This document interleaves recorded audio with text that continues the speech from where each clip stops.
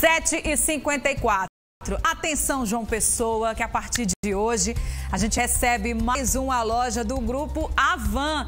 Pelo menos 150 empregos diretos já foram gerados com esse empreendimento e essa é a expectativa, né, para todos nós aqui, para toda a sociedade. Deixa eu chamar Juliana Teixeira, não acredito, eu queria estar nessa fila. Juliana, já tem gente esperando para entrar na loja que vai abrir as portas daqui a pouquinho, Ju. Oi, Anne, tem, viu? Você gosta de fila, gosta de comprar, devia estar aqui mesmo. Olha, já tem bastante gente. A inauguração, a loja, né, abre as portas a partir das 9 horas da manhã, mas a gente chegou aqui pouco depois das 7 horas e já tinha gente aqui presente na fila para entrar na loja, para fazer compra, para conseguir aí algum desconto de inauguração. Essa é a loja de número 168 no Brasil e com ela a Avan chega a 21 estados brasileiros. João Pessoa, como você disse, garantiu aí pelo menos 150 empregos diretos, fora os empregos indiretos que são é, conseguidos com a chegada de uma loja do porte como esse. Ontem à noite, cerca de empresários, é, políticos estiveram aqui na loja durante uma entrevista coletiva com o empresário Luciano Hang. E é o que a gente vai conferir a partir de agora com a repórter Vanessa Braz. Cerca de 20 mil metros quadrados comportam a nova loja que chega a João Pessoa, oferecendo uma estrutura com estacionamento gratuito e produtos diversificados, como cama, mesa, banho banho e eletrodomésticos. A Van João Pessoa é a loja de número 168 e a empresa está presente em 21 estados do Brasil. A inauguração para os clientes irá acontecer nesta terça-feira. A loja irá funcionar das 9 da manhã até as 10 horas da noite. Na noite dessa segunda-feira, o dono da van, o empresário Luciano Hang, recepcionou seus colaboradores com muita animação. Boa noite, João Pessoa!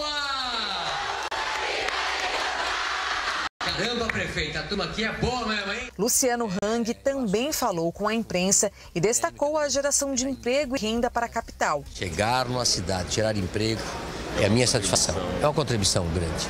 Né? Vocês vão ver aí como as pessoas estão animadas. 60 mil currículos apareceram aqui.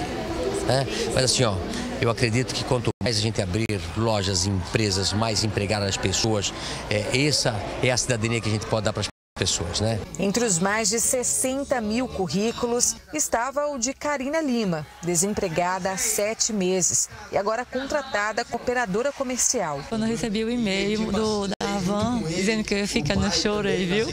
Aí para entrar aqui. Aí hoje eu estou feliz de empregada e podendo conquistar as coisas que eu quero.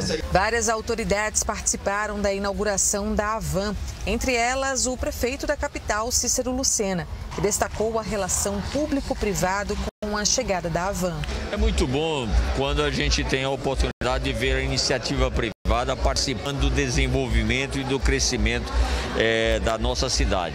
Sem dúvida, essa empresa, pelo seu tamanho, pela sua experiência, pela sua vontade de se expandir, está nos trazendo algo que é gratificante em primeiro momento na questão da geração de emprego. Ao gerar emprego, melhor distribui a renda.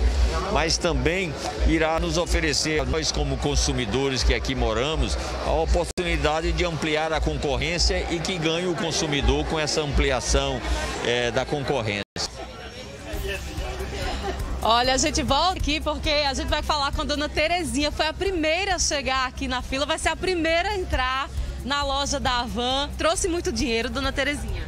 Oi, não trouxe dinheiro, aí eu trouxe o cartão. Pronto. Trouxe o cartão. Veio de Lucena, tem que gastar aqui hoje. É, faz o que posso, né? Boas compras pra senhora. Anne, de volta contigo. Se quiser, eu guardo um lugar aqui na fila pra você, tá? Eu vou ficar perto de Dona Terezinha, que essa bolsa dela tem dinheiro. Ela tá enganando a gente. Meu povo, acabou. 7h58. Vou lá em cima. Obrigada por hoje. Boa terça-feira, 11h15, de volta com as notícias locais na sua TV Tambaú. Você continua